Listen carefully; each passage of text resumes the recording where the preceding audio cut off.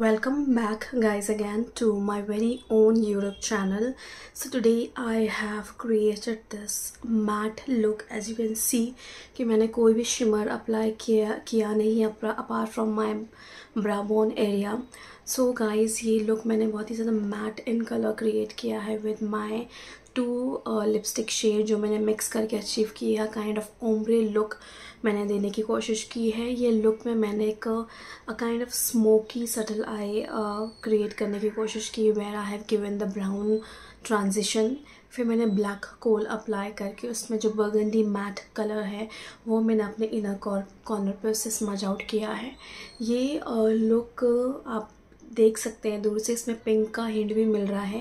And ये brown भी है एंड ये बहुत ही ज़्यादा अच्छा लग रहा है। इसके अंदर कोई भी मैंने ज़्यादा you know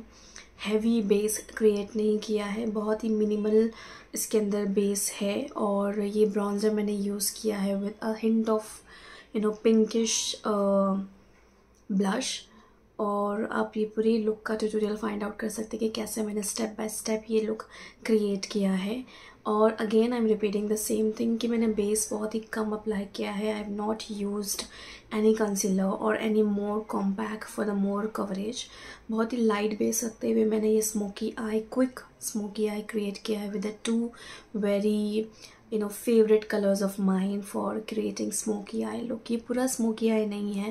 जिस मैंने लाइनर क्रिएट करके, एक रफ लाइनर क्रिएट करके उसको स्मज आउट किया है पिंक शेड से। इस लाइट के थ्रू गाइस इतना pinkish effect I don't know why दिख रहा है कि नहीं दिख रहा है बट थोड़ा सा मुझे दिख रहा है, लेकिन ये बहुत ही प्यारा कलर लग रहा है ब्राउन ट्रांजिशन में और इनर कॉपे इनर कॉर्नर पे मैंने पिंक स्मेस पिंक से स्मज आउट किया है। So kindly find my whole tutorial regarding the same तो एज़ ऑलवेज़ मैंने टोनर से शुरू किया है फ्रॉम फोक्स टेल उसके बाद मैंने जूसी केमिस्ट्री का लिबम अप्लाई किया है देन डॉक्टर शेस का मॉइस्चराइज़र अप्लाई किया है विटामिन सी वाला किया है। मॉइस्चराइजेशन के बाद आ, उसके बाद मैं डॉट एन की का स्ट्रोप क्रीम लगा रही हूँ बिफोर माई फाउंडेशन लेयर उसके बाद I am just gonna apply fit me foundation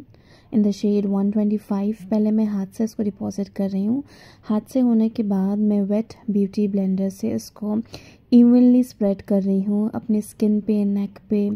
years पे, हर जगह मैं अच्छी तरह से ब्लेंड कर रही हूँ, अच्छे कवरेज के लिए। उसके बाद मैं न्यूट्रल्स टू का आई शेडो पिकअप कर रही हूँ और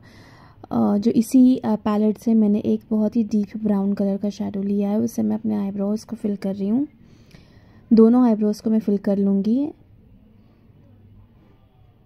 Today I have not used NYX का आई शेडो निक्स पैलेट में जो आईब्रोज के शेड है, वो यूज़ नहीं किया है मैंने। मेकअप रेवोल्यूशंस का ही यूज़ किया है सिंगल शेडो से ही। You can see the difference guys दोनों आईब्रोज में कितना फ़र्क लग रहा है। एंड उसको मैं स्पूली की हेल्प से जस्ट लाइन अप कर लूँगी बोथ माई आईब्रोज़ बिगिनिंग में जो आपके इनिशियल आईब्रोज होते हैं, वहाँ पे आपको बहुत ही प्रिसाइसली डिपॉजिट करना होता है. एंड पे आप ज़्यादा कर सकते हो. उसके बाद I am going to use these two colours to create my you know eye shadow for today's look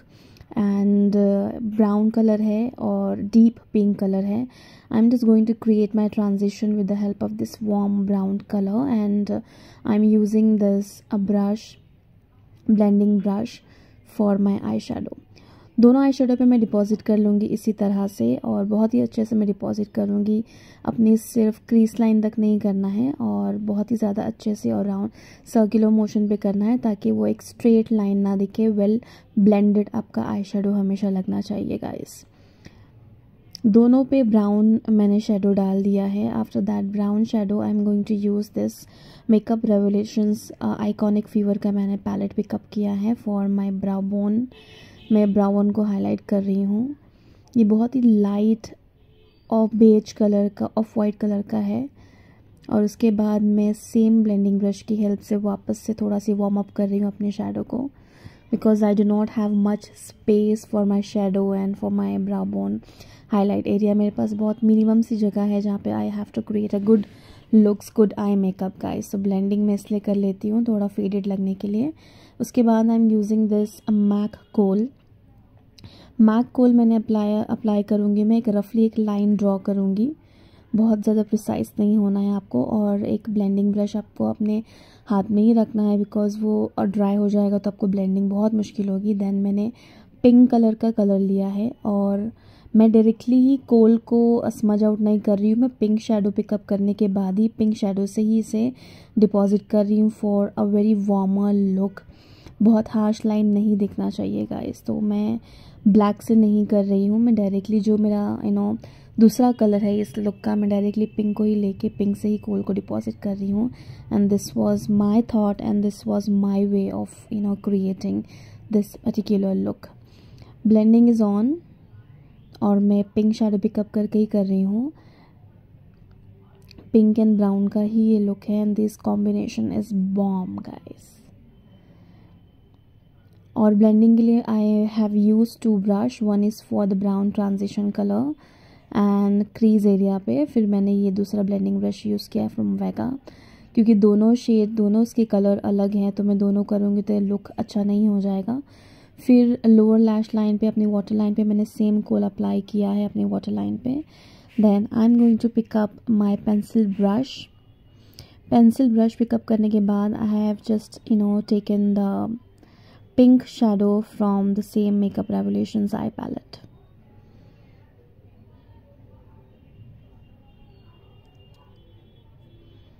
pink shadow से मैं इसको स्मज आउट करूँगी guys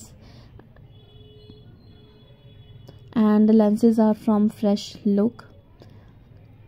ये matte looks are my favorite guys and these two colors are very much favorite because pink and light brown is you know going very well with the smoky eye look. And this smoky eye is little different because I have created in a different way guys.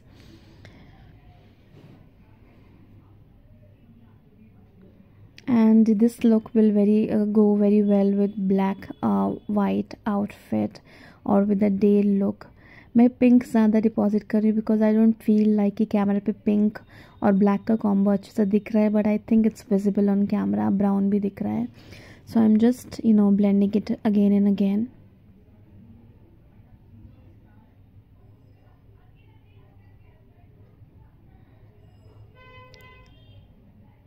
again i'm just going to uh, draw a very thin line as eyeliner because blending तो हो चुकी है but again I have to give a very thin line and thin line को को मैं ऐसे ही नहीं छोड़ूँगी उसको भी मैं हल्का सी स्मोक आउट करूँगी from the same blending brush क्योंकि हार्श लाइंस नहीं दिखनी चाहिए it's it should look very blended very well blended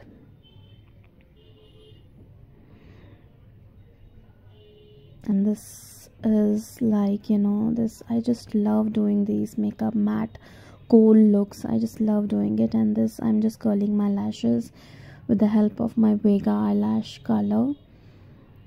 and uske baad i'm going to use the mascara mascara from maybelline again uh, over upper and lower lash line दोनों पे ही हम apply कर लेंगे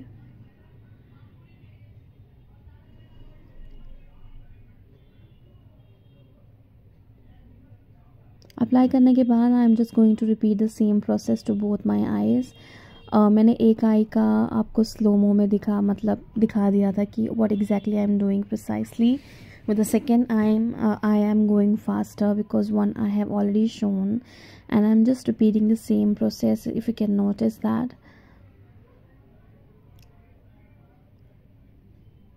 please try this look guys because I cannot explain कि why this look is so special and why I'm liking it so much. मैंने cream blush use किया है from Faces Canada cream blush use करने के बाद मैंने bronzer use कर रही हूँ फ्रॉम वेट एंड वाइड इस लुक में मैं ज़्यादा बेकिंग नहीं करूँगी, बहुत ही मिनिमम बेकिंग रखने वाली हूँ मैं. यू कैन सी मैंने बहुत ही छोटे ब्रश से ही जस्ट पाउडर अप्लाई किया है जहाँ पे ज़रूरत थी. उसके बाद मैंने लॉरियल का एक पिंक शेड अप्लाई किया है और इसे मैं मिक्स कर रही हूँ. लैकमे के लिप शेड से रॉयल रस्ट और ये मेरा क्लोजअप लुक है, जो मैंने सोचा था मिक्स करने पे ये दिखेगा, क्योंकि शेडो भी ब्राउन एंड पिंक है एंड लिपस्टिक भी मैंने brown and pink I hope guys you have watched my entire video regarding the same and